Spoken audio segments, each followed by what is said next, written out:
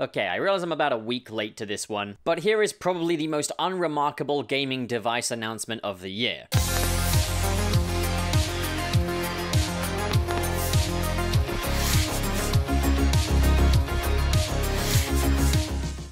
I swear, an observation I have made about Sega is that they will do one little nostalgic thing that's pretty popular, and then they will learn all the wrong lessons from it and repeat based on what they've learned. Case in point, recently Sega released the Sega Mega Drive Mini, a new mini replica of the original Sega Mega Drive, which came with 40 games, and sold at a regular retail price of approximately $80. Now, while these games are mostly readily available on Steam or through emulators given their age, I understand that the Sega Mega Drive Mini is a means of kind of recapturing the feel of the original Sega Mega Drive, and is a collector's item at that, making for a great gift for fans of retro gaming. And there's a lot of understandable novelty to that, and with that it went on to be quite a successful product. So celebrating the 30th anniversary of the Sega Game Gear, Sega once again made the announcement of a new miniaturized version of their famous handheld console. But wait a minute, the Sega Game Gear was already a handheld, so it was already pretty miniature. So here we have the Sega Game Gear Micro. Now I get it, there's a cute little novelty to Sega making mini versions of some of their most iconic consoles, but I would say the Sega Game Gear certainly doesn't have the same reputation as the Sega Mega Drive. I think it's another instance of Sega kind of overestimating the amount of nostalgia attached to one of their older products. Now I might be wrong here, but I know very few people who have any kind of attachment to the Sega Game Gear in the way that most people have an attachment to say the Sega Mega Drive. Drive. The Sega Mega Drive was Sega's flagship console of its time. It is by far the most iconic one. But let's actually talk about the product of the Sega Game Gear Micro itself. The Sega Game Gear Micro is about 40% of the size of the original Sega Game Gear, boasting a compact 1.15 inch display with a resolution of 240 by 180 pixels. This time it comes with four inbuilt games. The Sega Game Gear Micro is available for pre-order for approximately $50 regular retail price. It is also available in a range of different colors so you can kind of get a more personal feel for it. So here's my overall thoughts. It's a cute little accessory. I do like the idea of having a little miniature version of a previous Sega console, but $50 for this? For starters, you can't see shit on a 1.15 inch screen. Sure, it's playable if you look close, but like, this isn't just a case of, oh, it's a cute Diddy version, this is gonna be actively inconvenient. Like, literally a downgrade from the original in just about every single aspect. As well as that, the selection of games on there, just really just four games? So the classic black Game Gear Micro model comes with Sonic the Hedgehog 1, Puyo Puyo 2, Outrun, and Royal Stone.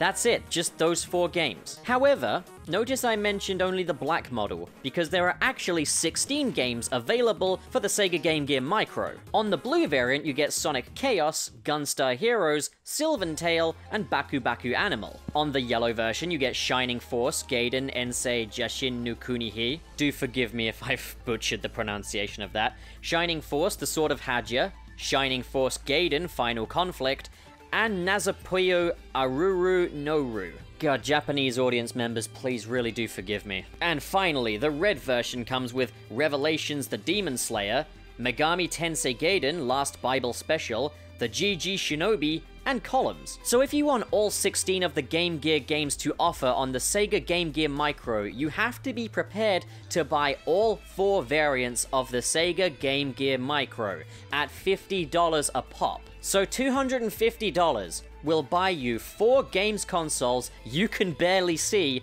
and 16 super old and barely even collectible games, which you can run incredibly easily on the Kega Fusion emulator on a big screen. Well, they, they found a way to make it worth your dosh. They found a way to get me to fork out for sure, because if you buy all four, you even get a magnifying glass for the Sega Game Gear Micro.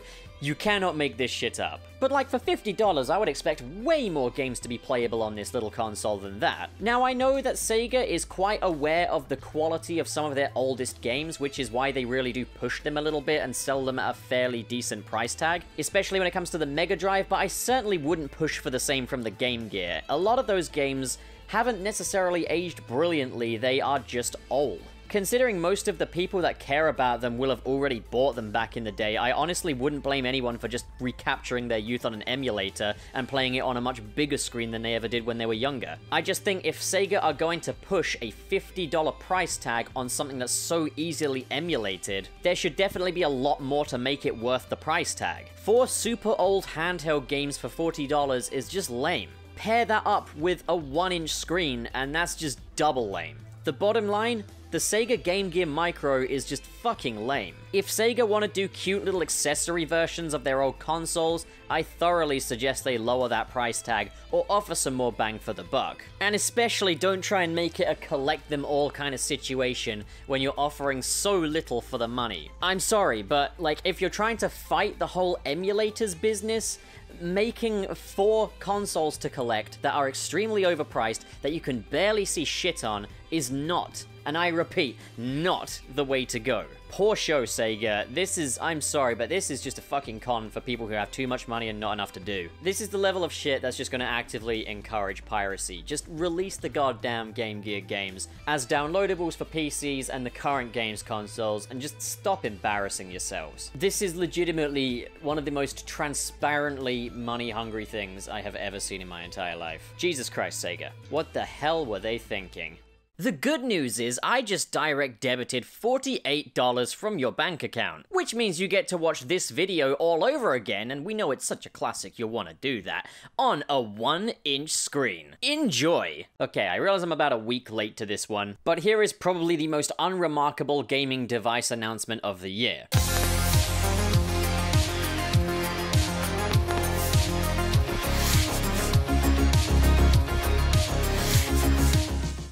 Uh-oh, Stinky, you're not subscribed to my Patreon so you don't get to watch the whole thing. But never mind. What do you think, guys? Comment below and discuss, and as always, if you enjoyed this video and you want to see more like it, why don't you head over to channelpup.net, where you can visit our blog page Dr. Blogtopus, but you can also buy merch, such as the official Channel Pup replica hoodie. And I mean, if you insist here, guys, maybe hit subscribe, maybe hit the like button, and in the description below are the links to my social media handles, including the Patreon, where your contribution can help me run this channel, and really keep it alive. That aside, I am really grateful that you checked out this video today. Thank you so much for watching, fellow home dog. See you on another video.